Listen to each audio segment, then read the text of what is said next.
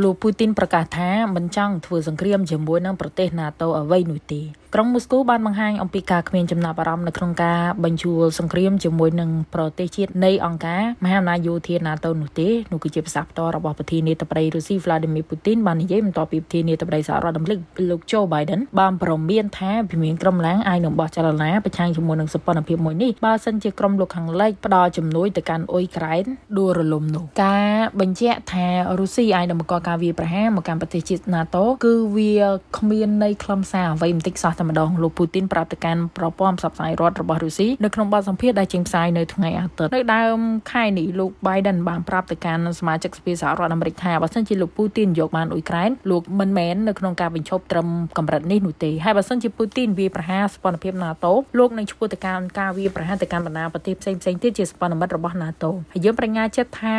មានប្រទេសណាមួយទេដែលត្រូវបានរងនៅការបំភ្លេចបំផ្លាញមួយអ៊ីងនោះលោក Biden បានពៀវនាវឲ្យក្រមសាធារណរដ្ឋជួយប្រកបផ្គុំបន្ថែមទៀតហើយគម្រាំងខ្ទប់នៅចំនួនយោធាជូនទៅកាន់អ៊ុយក្រែនលទ្ធផលគឺវាអាចនឹងជាសេណារីយ៉ូដែលពួកយើងមិនចង់ស្វែងរកហើយពួកយើងមិនមានថ្ងៃនេះនោះទេស្របទៅតាមមាត្រា5នៃសន្ធិសញ្ញាអង្គការមហាអំណាចយោធា NATO ការវាប្រហារណាមួយមកលើសម្ព័ន្ធមិត្តរបស់សម្ព័ន្ធភាពនេះគឺត្រូវបានចាត់ទុកថាជាការវាប្រហារទាំងអស់តែម្ដងហើយបណ្ដាប្រទេសដែលដូចជាសហរដ្ឋអាមេរិកមានការប្រុងប្រយ័ត្នណាស់នៅក្នុងការគ្រប់គ្រងយោធាបង្កាន់ក្រុងគៀវផ្ដល់ជំនួយគ្រប់ប្រភេទក៏ប៉ុន្តែគូបញ្ជាក់ថាសមាជិក NATO គឺមិនដែលផ្ទាល់នៅក្នុងការប្រឡូកនៅក្នុងសង្គ្រាមនេះនោះទេការលូកលុយរបស់រុស្ស៊ីទៅកាន់អ៊ុយក្រែនបានប្រព្រឹត្តទៅនៅខែកុម្ភៈឆ្នាំ2022ស៊ុយអែតនិងហ្វាំងឡង់បានដាក់ពាក្យជាសមាជិករបស់អង្គការ NATO តែមានតែ Helsinki ប៉ុណ្ណោះបានចូលជាសម្ព័ន្ធភាពរបស់ NATO នេះកាលពីខែមេសាឆ្នាំ2023គេរំពឹងថាស៊ុយអែតត្រូវដោះស្រាយលើបញ្ហាជាច្រើនដែលទាក់ទងជាមួយនឹងការមិនមានការគ្រប់គ្រងឯកភាពឲ្យខ្លាចជាសមាជិករបស់ NATO ពីសំណាក់ប្រទេសសមាជិក NATO មួយគឺទូគីហើយក៏ដូចជាហុងគ្រីផងដែរទៅតាមបណ្ដោយព្រំដែននៃប្រទេសទាំងពីរនេះគឺវាជាប់ជាមួយនឹងរុស្ស៊ីតែម្ដងហើយភាពតានតឹងក៏កាន់តែខ្លាំងឡើងផងដែរពួកគេបានបដូរចិត្តចង់ខ្លាចជាសមាជិករបស់ NATO នេះព្រោះតែមើលឃើញជាក់ស្ដែងអំពីសកម្មភាពនៃការលុកលុយរបស់រុស្ស៊ីទៅកាន់អ៊ុយក្រែននោះតែម្ដង បែបណាក៏ដោយក្តីលោកពូទីនបាននិយាយនៅក្នុងនាមលោកគឺជាអគ្គមេបញ្ជាការប្រទេសដោយថាវាគ្មានន័យបន្តិចសោះឡើយហើយខ្ញុំគិតថាប្រធានាធិបតី Biden យល់អំពីន័យរបស់ខ្ញុំហើយរុស្ស៊ីមានឡាយនៃចំណាប់អារម្មណ៍ទាំងយោធាទាំងនយោបាយទាំងសេដ្ឋកិច្ចទាំងភូមិសាស្ត្រនៅក្នុងការបង្កចំនួនអ្វីជាមួយនឹងបណ្ដាប្រទេសណាមួយនៃ NATO ឯករដ្ឋទូតរបស់រុស្ស៊ីប្រចាំសហរដ្ឋអាមេរិកលោក Ann Natoli Antonov បាននិយាយថាការបញ្ជាក់របស់លោក Biden ដែលថាសហរដ្ឋអាមេរិកនោះគឺបានត្រឹមតែមិនយល់អំពីការពិតហើយការភាសាងាយងាយយ៉ាងដូចនេះវាមិនមិនយល់ពីការពិតនៃការភាសាអំពីការប៉ះទង្គិចដោយផ្ទាល់រវាងកងកម្លាំងនៃប្រទេសជាតិទាំងឡាយវោហាសានៃការបង្កហេតុទាំងអស់នេះគឺជារឿងដែលមិនអាចទទួលយកបាននៃក្រុមកងកម្លាំងនុយក្លេអ៊ែរដែលមានការទទួលខុសត្រូវ ការបង្កអារភាពតាមរយៈការប្រើប្រាស់មហាសាហទាំងនេះគឺមិនអាចទទួលយកបានទេនៅក្នុងនាមជាមហាអំណាចមួយដែលមានទំនួលខុសត្រូវនុយក្លេអ៊ែរលោកអេនថូនៅបាននិយាយបន្តយ៉ាងដូចនេះក៏ប៉ុន្តែសង្គ្រាមនៅអ៊ុយក្រែនបានបង្កឲ្យមានការភ័យខ្លាចជាច្រើនអំពីការប្រជុំគ្នារវាងរុស្ស៊ីនិង NATO បើទោះបីជាក្រុងវ៉ាស៊ីនតោនបាននិយាយថាគេមិនចង់ធ្វើសង្គ្រាមជាមួយនឹងក្រុងមូស្គូផងដែរនោះអ៊ុយក្រែនបានបញ្ជាក់អំពីខ្លួនដើរតួនាទីដោយម្ដេចនៅក្នុងសង្គ្រាមមួយនេះហើយបញ្ជាក់ថាខ្លួនគឺជាច្រកទ្វារមួយនៃអឺរ៉ុបនិង NATO ដែលអាចជាគោលដៅដ៏មានឥទ្ធិពលហើយបើសិនជាក្រុងគីចាញ់នោះគឺនឹងមានករណីកើតឡើងនោះគឺថា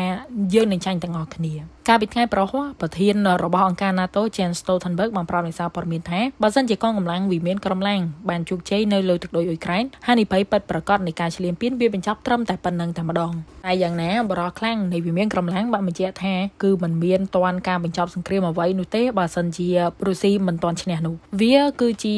ប្រសាសន៍ដែលលោកលើកឡើងនៅឯសន្និសីទព័ត៌មានផ្លូវការមួយដែលប្រព័ន្ធផ្សព្វផ្សាយលោកខាងលិចត្រូវបានអនុញ្ញាតនៅក្នុងការបញ្ជូនកិច្ចចាប់តាំងតែវិមានក្រុមឡើងបញ្ជូនកងកម្លាំងរបស់ពួកគេទៅកាន់អ៊ុយក្រែននៅក្នុងខែកុម្ភៈនោះលោកបានបញ្ជាក់ផងដែរថានៅក្នុងពេលនេះសម្រាប់រុស្ស៊ីមិនត្រូវការការកែនកម្លាំងទ័ពរយៈលើកទី2អ្វីនោះទេ ដែលលោកបាននិយាយថាទ័ពរបស់រុស្ស៊ីមាន6សែន17000នាក់រួមជាមួយនឹងកងទ័ព2សែន44000នាក់ដែលត្រូវបានកែនកាលពីមួយឆ្នាំមុនដើម្បីប្រយុទ្ធប្រកបដោយវិជ្ជាជីវៈរបស់ពួកគេហើយលោកបាននិយាយថាទីបំផុតមួយនឹងមកដល់ជាជំនះគឺជារបស់យើងសន្តិភាពគឺជាអ្វីដែលនឹងសម្រេចបាននៅពេលដែលយើងសម្រេចបានគោលដៅរបស់យើងលោកពូទីនដែលកាន់អំណាចជាង24ឆ្នាំមកនេះបានប្រកាសកាលពីសប្តាហ៍2019ថាលោកនឹងបន្តនៅក្នុងការបោះឆ្នោតឡើងវិញលោកបាននិយាយអំពីជាជំនះជាច្រើនដែលកំពុងតែកើតមានឡើងគួរកត់សម្គាល់របស់រុស្ស៊ីនៅអ៊ុយក្រែនក៏ដូចជាការគ្រប់គ្រងយ៉ាងភ្លុកទឹកភ្លុកដីនៃក្រមប្រទេសរបស់លោកលោកបាននិយាយថាអ៊ុយក្រែនសប្តាហ៍ថ្ងៃនេះបានកាត់បន្ថយការប្រយុទ្ធជាច្រើនហើយភាពវិវត្តគឺស្ថិតនៅខាងយើងនៃកងទ័ពរបស់យើងទាំងអស់សត្រូវរបស់យើងបានប្រកាន់ពីការវិបកក៏ប៉ុន្តែมันបានមានអ្វីជាជ័យជំនះដុំកំភួននោះទេលោកបានលើកឧទាហរណ៍អំពីការកសាងស្ពាននៅឯជ្រោយខាងកើតនៃទន្លេ Dnieper ហើយថាក្រុងគៀវគឺជាអ្នកដែលចាញ់នៅទីនោះជាខ្លាំងលោកពូទីននៅក្នុងសន្និសីទនោះមិនបានបញ្ជាក់អំពីចំនួនទាហានរបស់រុស្ស៊ីស្លាប់ហើយក៏មិនបញ្ជាក់អំពីកុមារដែលបាត់បង់ជីវិតនៅក្នុងសង្គ្រាមផងដែរតែយ៉ាងណាប្រភពចារកម្មរបស់សហរដ្ឋអាមេរិកបាននិយាយថាកងទ័ពរុស្ស៊ីមកដល់ពេលនេះស្លាប់ជាង315,000នាក់ទៅហើយដែលវាសឹងតែ90%ទៅហើយនៃកងទ័ពនៃការចាប់ផ្ដើមលុកលុយដំបូងរបស់រុស្ស៊ីលោកពូទីនមានតែអំណត់ទៅវិញថារុស្ស៊ីនៅតែមានដំណើរទៅមុខដដែលបើទោះបីជាមាននៅទនកម្មរបស់ក្រុមលោកខាងលិចដាក់មកដល់ក៏ដោយក្តីក៏ដូចជាភាពធ្វើឲ្យឯកាផ្នែកនយោបាយដោយសារតែករណីសង្គ្រាមនេះលោកពូទីននៅពេលដែលគេសួរអំពីតំណែងទំនងជាមួយនឹងសហភាពអឺរ៉ុបហើយនិងសហរដ្ឋអាមេរិកយ៉ាងដូចម្ដេចលោកបានបញ្ជាក់ថាសហរដ្ឋអាមេរិកនៅតែជាប្រទេសដ៏មានសារៈសំខាន់មួយក៏ប៉ុន្តែចៅប្រទេសនេះនៅចក្រពត្តិនិយមខ្លាំងលោកបានជំរុញឲ្យសហរដ្ឋអាមេរិកចេះគោរពប្រទេសគេក៏ដូចជាប្រជាជនគេឯងផងហើយនិយាយថារុស្ស៊ីមានលក្ខណៈត្រៀមខ្លួននៅក្នុងការស្ដារនៅទំនាក់ទំនងនេះពេលណាក៏បានដែរលោកក៏បាននិយាយនៅក្នុងការដែលអាចនឹងដោះលែងដល់អ្នកកសែតរបស់សហរដ្ឋអាមេរិកពីររូបដែលជាប់ពន្ធនាគារនៅឯរុស្ស៊ីបើទោះបីជាបរិះរូបនេះបាននិយាយនៅទម្លាក់កំហុសចំពោះករណីដែលបំពង់បង្ហូរប្រេង Nord Stream ត្រូវបានវាប្រហារនៅក្នុងខែកញ្ញាឆ្នាំ2022ដោយពុំមានការបញ្ជាក់ផុសតាំងយ៉ាងពិតប្រាកដឬដោយម្ដេចនោះបច្ចុប្បន្ននេះសង្គ្រាមរវាងរុស្ស៊ីនិងអ៊ុយក្រែនគឺពុំមានក្រុមណាមួយបន្ធូរដៃនោះទេមេដឹកនាំនៃប្រទេសអ៊ុយក្រែននិងកងកម្លាំងបានសេចក្ដីនៅក្នុងការបន្តប្រយុទ្ធរហូតដល់ដំណាក់កាលដែលកងទ័ពរបស់រុស្ស៊ីខ្ចាត់ខ្ចាយចេញពីទឹកដីរបស់ពួកគេដើម